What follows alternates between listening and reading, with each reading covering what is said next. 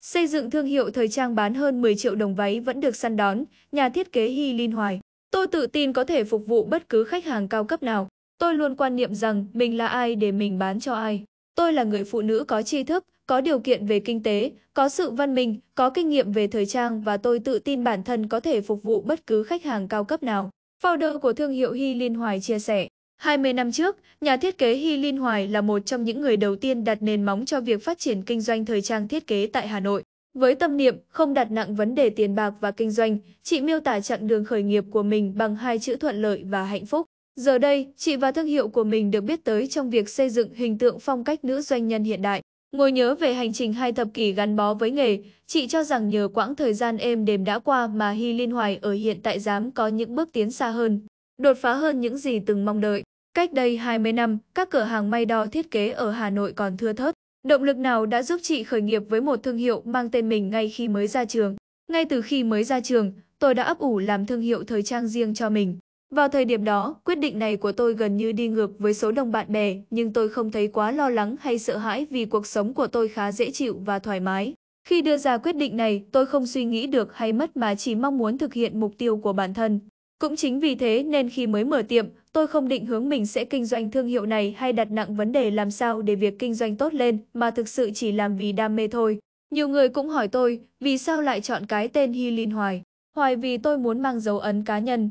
Tuy nhiên, trong tiếng Việt, nghĩa của nó rất là buồn, mang nhiều hoài niệm, không giống với tính cách của tôi lắm. Tôi có một cô bạn thân du học bên Pháp. Cô ấy bảo, tới trông cậu lúc nào cũng tươi vui, hạnh phúc, nụ cười rạng rỡ trần đầy sức sống.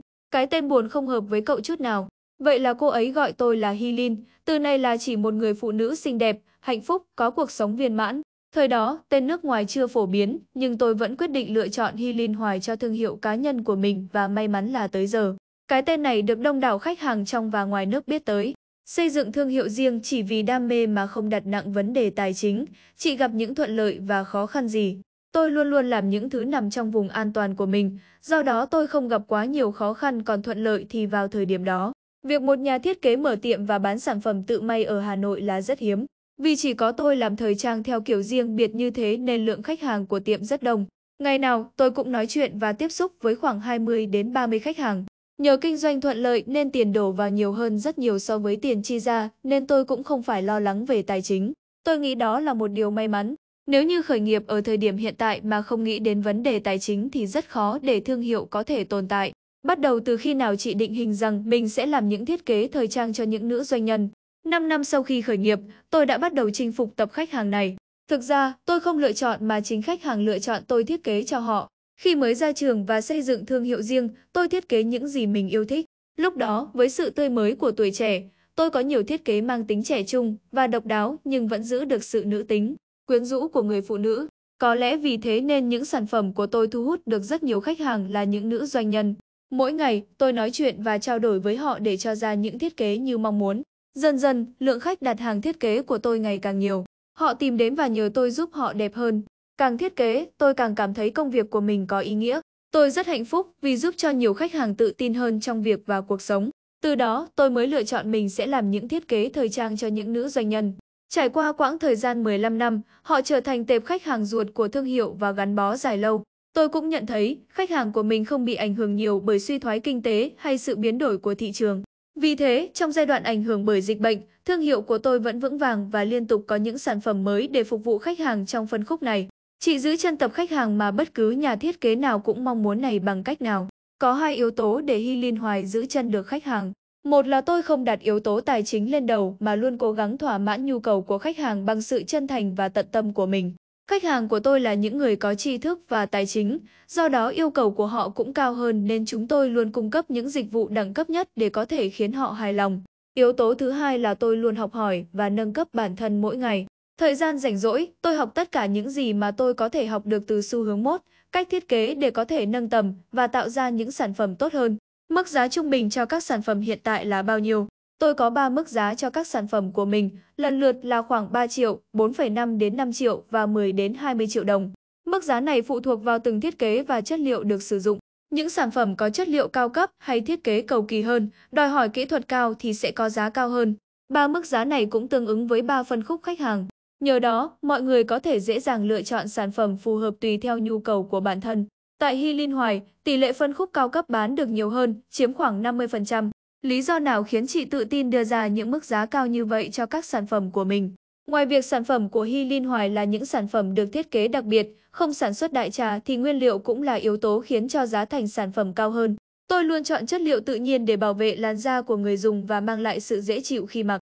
Những nguyên liệu này đều làm từ sợi tự nhiên nhập ngoại nên có giá rất đắt, có những tấm vải giá hơn 1 triệu mét. Tuy nhiên cũng nhờ đó mà tôi tạo ra sản phẩm chất lượng cao, đẳng cấp và sang trọng nên rất được khách hàng yêu thích và tin dùng. Bản thân tôi cũng chỉ sử dụng những sản phẩm do mình thiết kế. Có bao giờ chị cảm thấy áp lực khi phục vụ nhóm khách hàng cao cấp không? Không đâu, cười. Tôi luôn quan niệm rằng mình là ai để bán hàng cho ai. Tôi là người phụ nữ có tri thức, có điều kiện về kinh tế, có sự văn minh, có kinh nghiệm về thời trang và tôi tự tin bản thân có thể phục vụ bất cứ khách hàng cao cấp nào. Hiện tại Hy Linh Hoài đang có hai sâu dung, 50 nhân công. Chỉ có bị mâu thuẫn giữa việc một bên là sự thăng hoa của người khuyết tật và một bên là cơm áo gạo tiền cho nhân viên hay không. Là một nhà thiết kế, tôi luôn mong muốn thiết kế ra những sản phẩm đẹp, bay bổng, lãng mạn với chất lượng cao cấp nhất. Tuy nhiên, những sản phẩm ấy chưa chắc là những sản phẩm ăn khách. Hơn nữa, giá cũng thường cao hơn và nhóm khách hàng cũng rất kén nên tôi luôn cân bằng ở giữa để làm sao vừa có những sản phẩm có tính nghệ thuật cao hơn, thời thượng hơn, vừa có những sản phẩm đáp ứng được nhu cầu của chị em hàng ngày. Bên cạnh đó, tôi cũng có đội ngũ nhân sự lâu năm, giàu kinh nghiệm và rất tâm huyết để hỗ trợ đắc lực cho tôi trong việc quản lý và vận hành, để tôi có thể thỏa sức bay bổng với những thiết kế nhưng cũng phần nào cân đối được với kinh doanh. Đó cũng là lý do mà sau 20 năm, chị quyết định lần đầu tham gia Việt Nam International Fashion Week. Khi nằm trong vùng an toàn quá lâu, chúng ta sẽ ngại thay đổi. Trước đó, tôi quá đắm chìm với công việc, luôn cảm thấy mãn nguyện và hạnh phúc trong cuộc sống của mình nên không tiếp nhận thêm những điều mới.